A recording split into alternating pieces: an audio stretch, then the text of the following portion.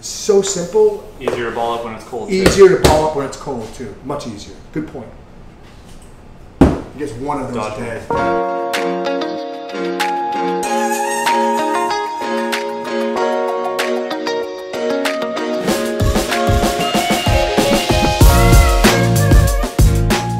All right, so we're making some dough.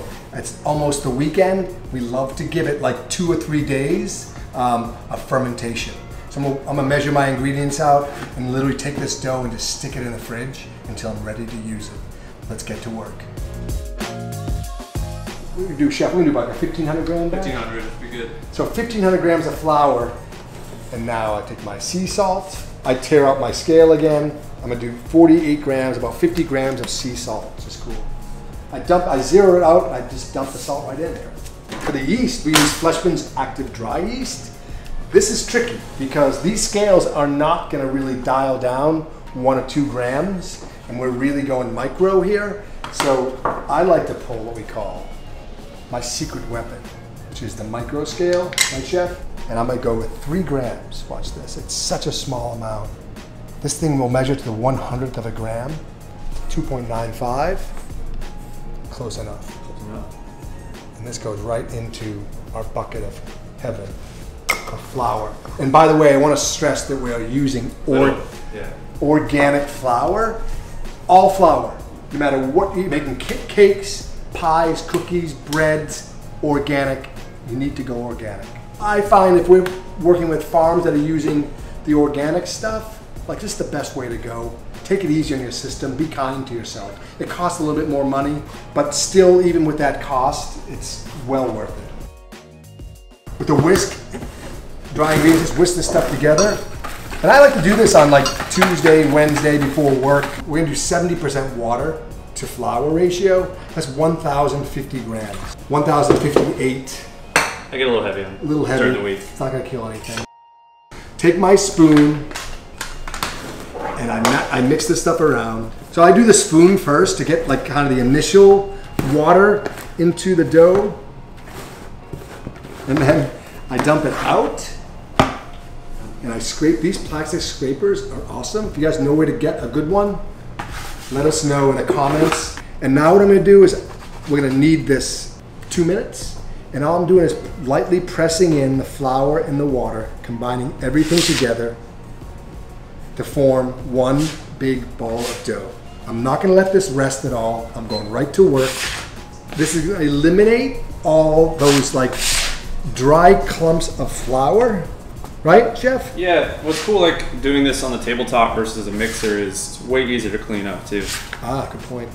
You can see now it's formed one big, large clump, one mass of dough. It's super sticky, so it's made that transition from like floury to sticky. I know it's done, and that's been just about three minutes, right? Is that what you had Yeah. on there? Two minutes. Three? Two minutes.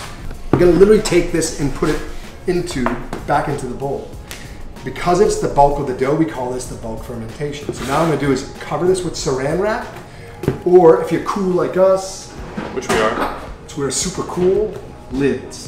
These are airtight. And I literally will take this, oops, wait till it snaps in. Now my dough's gonna bulk ferment. We're gonna take this dough and just put it right into the refrigerator and let it bulk ferment cold for literally three, four, or five days. When we remove this to portion it up in a little bit, um, we've got some other dough we're working on. Um, we're gonna ball that up for you. But usually the day of baking is when we'll ball it up now. We just pulled this out of the fridge. It's been fermenting in there for about almost three full days. And you can see, because it didn't ferment on the um, countertop, it all cold. So it, it proved, it doubled in size, but not like if it was a warmer proof, it'd be up to the eight quart mark maybe. This has been our preferred method, I'd say, over the last couple of, since we started our dough journey, we've kind of found ways to tweak it to work with our schedules. We find that bulk fermenting it cold is really ideal. And you'll see this, when we ball this up cold, it's still a very wet dough, but it just balls up so much more efficiently than when it's warm. Here's our system for doing this. These two cup delis, you can buy them at like, you know, your local market. Take it out of the container. I always use a little bit of flour down and I just kind of scrape it out of here and see like the gluten, see those strands? That's your gluten network. So you remove this out of here, scrape it out. Every bit counts. Every bit is maybe one more pizza, right? Now, the portion sizes. Um, ideally, we like them about eight ounces or 240 grams. Can I get this one on the first try here? See how good I am. 240 grams. I think I got it. I think I got it. Oof. 297. It's terrible. Two putt? Two putt, right back to 239. So perfect. So now we're gonna cut a bunch of these up. We're trying to make a ball, take all those gluten strands, trap them inside, close that ball up, and let it um, let it naturally proof over the next couple of days. If we didn't do this step, what we have is like what we call supermarket dough. You see these, we see these um, Amoebas. amoebas in plastic bags. If it was in plastic and you don't perform this step, there's there's no proofing. It doesn't do anything. Sits, sits there. And when you go to stretch it, it's like super difficult to stretch. It's very elastic. So really important step. So what we do is we make a ball and we trap it, and that's going to help this dough help it form and make some you know some structure. In this case, pizza or bread. So flour it up, both sides, pick it up, and just fold it in half and I turn it one quarter and I grab the left hand side and the right hand side. I press my fingers in lightly and then I close it again. And I turn. And I follow the same sequence. Grab the sides, press in, and close. Lightly.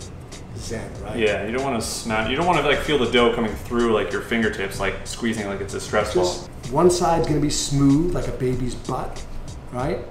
As I do this, it's getting more and more taut each time, right? As it gets more taut, and I can close it off. I put the smooth side of my palm, and I can be aggressive here on this close. I can just really close this ball up. And you can see now we have this beautiful ball. So now all everything is stuck inside of this piece of dough. All the natural gas is inside, right? And so now when it tries to proof, it's gonna expand.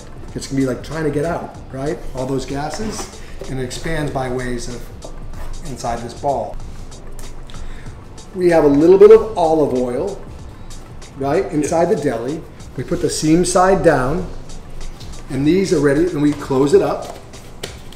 And if I'm gonna bake these off tonight, I will put them back in the fridge for a few hours, and maybe three or four hours before I bake, I will remove it and let it get back to room temperature. Why do we ferment our dough for three days? Like, why is it better? Is it and is it even noticeable? Like, well, here's the, the best example I can give you. We just mixed this one an, like an hour ago, right? And you can see it's just flour and water and salt. It got. What does it smell like to you? Does that remind you of? Like just flour. Yeah, flour. bag of it smells like bag flour, of flour right? on a humid Um, day. So guess what? Like with a little bit of hot water and additional yeast, we could make pizza in this in like two hours for you.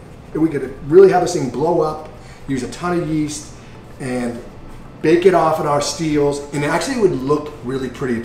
But now take one of these balls. This one's been proofing or fermenting for literally a, Three days. three or four days now. What does that smell like? Love. It is Yeah. like it smells like love. Yeah, this has been three days versus one hour, and it is so noticeable.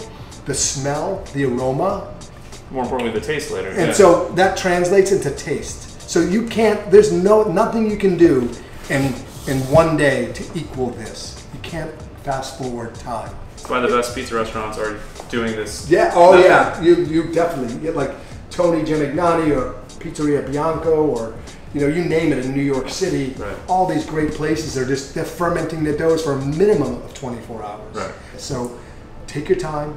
Make your it sit- dough. Make a dough. Let it sit for a few days. You will become a legendary pizza maker. You got to use steel too, by the way, right? Yes. Steel. Let's be serious. Let's be serious.